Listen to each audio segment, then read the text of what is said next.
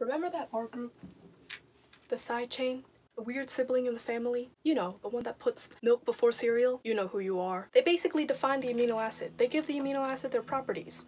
And the 20 amino acids are classified into different groups based on these properties, which we'll be going over today. So amino acids are divided into two main factions. There's nonpolar, and then there's polar. Nonpolar amino acids are hydrophobic because hydro means water and phobic is similar to phobia. They don't like water. They want to avoid water. Polar, on the other hand, because water is polar, and polar things like polar things in nature, they are hydrophilic, which means they are water loving. Under nonpolar, we have alkyl groups and aromatic groups. And then under polar, we have neutral, acidic, and basic. Quick mm-hmm. PSA, you know how when you go to the doctor with some sort of condition and then they diagnose you? Hi doctor, I have six overdue assignments. Yeah, you have crippling lack of motivation to study. Oh. And then they just scribble across a page like this and then they diagnose you and then they hand it to you and the pharmacist is like cool. Well it's actually a system of abbreviations. One of them is called american gregg shorthand and doctors use it to diagnose patients really quickly. Well organic chemists needed something like that too. Because in organic chemistry literally everything is made up of carbon and hydrogen with a few nitrogen oxygen phosphorus and sulfur sprinkled in between. Kind of like how my entire diet is based on white rice. And everything else just kind of goes with it. But anyway back to carbons and hydrogen. Scientists didn't want to write all the carbon and hydrogens out so they used this sort of system. Whenever there are carbons, usually with hydrogens attached, we'll just do something like this. And at each point here is a carbon, and if nothing else is attached to it, you can assume that there's hydrogens attached. So I'll be using these to draw amino acids later because I really couldn't be bothered to draw it out like this. So yeah, this has been a public service announcement. Let's start with nonpolar amino acids. So as mentioned before, it's normally split into two subgroups, alkyl and aromatics. Alkyl basically means that it's only composed of carbon and hydrogen. And aromatic means that they come in stable rings that help support the molecule.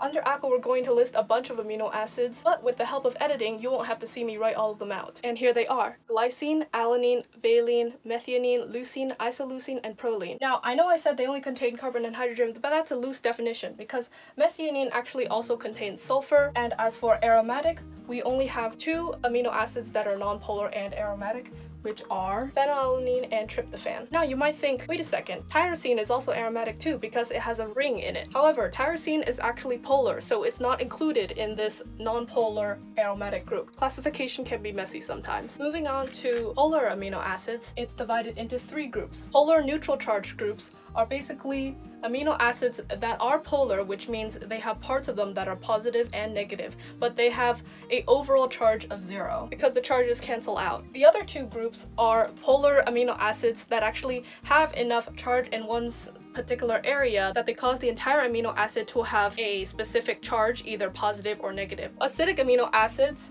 are negatively charged because they have a tendency to give up a hydrogen ion and become negative. These contain carboxyl groups, which if you remember is COOH, and that is where the H is given up so that it becomes COO minus, giving it a negative charge. And as for the basic amino acids, they are often positively charged because they contain amine groups, which is the NH2 as I mentioned before, don't these look familiar? These are actually the amine carboxyl groups on the original amino acid backbone. But these are found in the side chains instead. And this amine group has a tendency to gain another proton slash hydrogen ion and become NH3+. plus. And then with the power of editing, I will list all of the following for you here. Under the polar neutral amino acids, we have serine, threonine, asparagine, glutamine, cysteine, and tyrosine. And for the acidic amino acids, we have aspartic acid and glutamic acid. They're pretty easy to remember since they literally have acid in their name. And for basic, we have lysine, histidine, and arginine.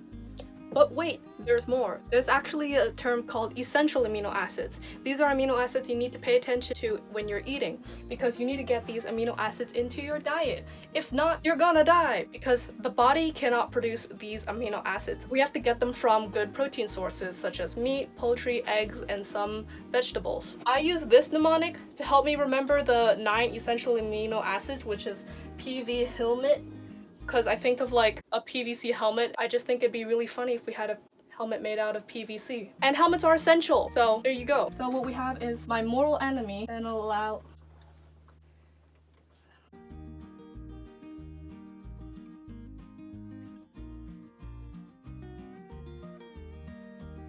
And these amino acids are phenylalanine, valine, histidine, isoleucine, leucine, lysine, methionine, tyrosine, and tryptophan. Hope you had a good day. Bye!